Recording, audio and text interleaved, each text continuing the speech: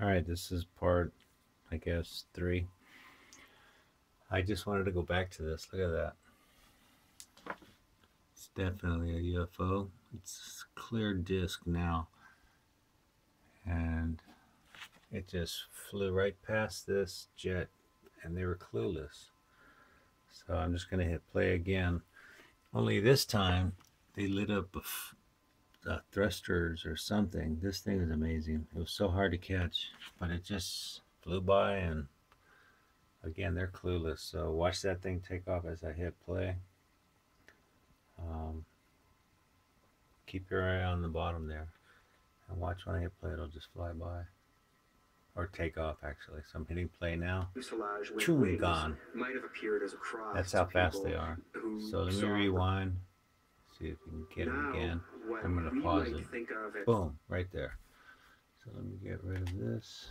And there it is again. I'm getting pretty good with the remote. There goes that orb again. So that just proves that an orb flies kind of like an autopilot, I guess, drone that protects them. And it's a weird craft. This thing, uh, every time I capture it, it shows up in different uh, shapes, I guess, or reflections from the sun. But again, it was flying right underneath this jet and people were clueless. So I'm going to hit play and just show you how clueless the people were um, that were filming this, as always. And again, this is season one, episode two. So I'm going to go ahead and hit the play button and it's, it's going to fly away and they're just going to continue to narrate about uh, the, the, the story of this show. The fuselage with so wings flies away might have appeared as a cross to people and who saw religious symbolism constantly in their everyday life.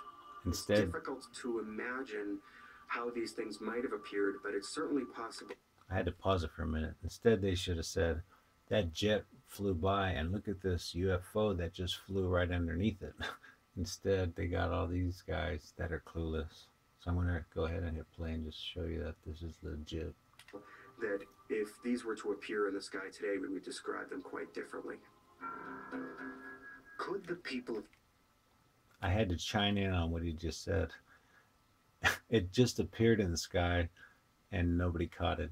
Anyway, I'm hitting play again. Nuremberg have actually witnessed a battle between warring alien factions. An event eerily similar to the one written about in the Bhagavad Gita over 3,000 years earlier. And if not, what else would explain anyway, I just want to show you how they're clueless to what I just showed you. As always, thank you for watching. Over and out.